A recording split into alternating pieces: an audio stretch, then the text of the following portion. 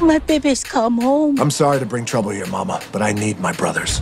Let's get old school.